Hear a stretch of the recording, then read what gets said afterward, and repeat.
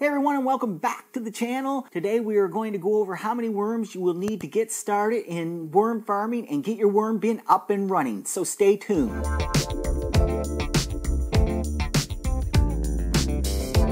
There are many variables that go into how many worms you should start with depending on your goals for your worm farm. First, how big is your worm bin going to be? The first and one of the most important questions you will need to ask yourself is how big will my worm bin be when figuring out how many worms you will need to start your worm bin with? If you have already purchased a worm bin, this will kind of decide for you in a way how many worms you are going to need for your bin. Normally, adding worms to your bin will range from roughly from a half a pound of worms to one and a half pounds of worms for every square foot of worm bin space. Your max density of worms is what you would have as a maximum number of worms you would want to start your worm bin with. If you're a new worm farmer, you may want to start with a bit less worms than this just to be on the safe side. If the worms think there are too many of them in the bin, they may try to leave and will want to avoid and you will want to avoid this happening happening with your new worm farm.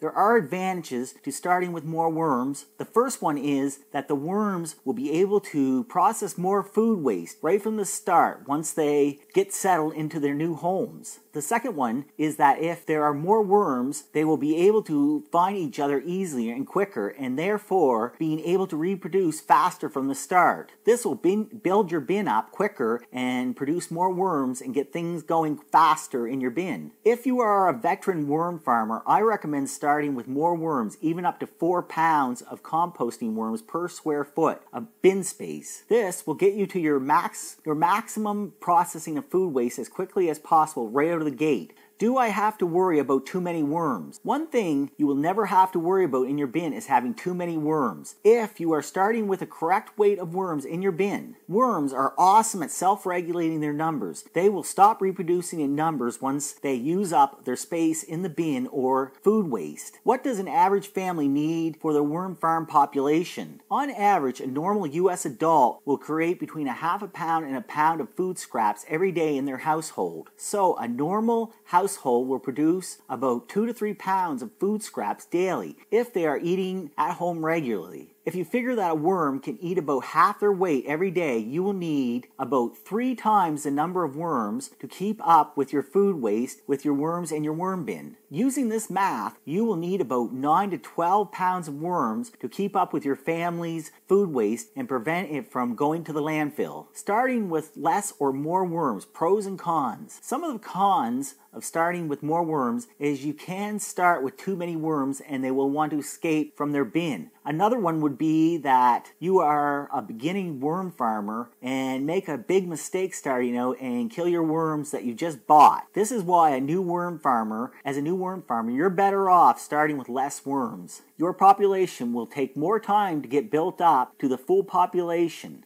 Next, some pros of starting with more worms would be you will have a larger population so you will get worm castings faster to start out with. You will be able to add more food scraps and get your scraps processes processed quicker, having to throw less scrap, getting your bin up to max population faster than with less worms. I personally recommend to start with a fewer number of worms if you are a new farmer just starting out and with a larger population if you are an experienced vermicomposter. Alright, so that'll wrap up this week's video about how many worms you should start your worm farm with. I hope this video helped you to understand how to start and build up your worm farm population over time. If this video was helpful to you, I hope you will share, like, and subscribe to my Worm Whisperer channel. And as always, have a great day, worm farming, and I'll see you all next time. Thank you for joining me for this video.